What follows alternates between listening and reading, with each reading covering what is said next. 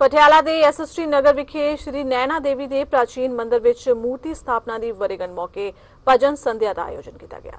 ਇਸ ਮੌਕੇ ਤੇ ਸ਼ਰਦੀ ਕਲਾ ਗਰੁੱਪ ਦੇ ਚੇਅਰਮੈਨ ਸਰਦਾਰ ਜਗਜੀਤ ਸਿੰਘ ਦਰਦੀ ਨੇ ਉਚੇਚੇ ਤੌਰ ਤੇ ਸ਼ਮੂਲੀਅਤ ਕੀਤੀ ਤੇ ਸਮਾਗਮ ਦੇ ਪ੍ਰਬੰਧਕਾਂ ਵੱਲੋਂ ਉਹਨਾਂ ਦਾ ਵਿਸ਼ੇਸ਼ ਤੌਰ ਤੇ ਸਨਮਾਨ ਵੀ ਕੀਤਾ ਗਿਆ।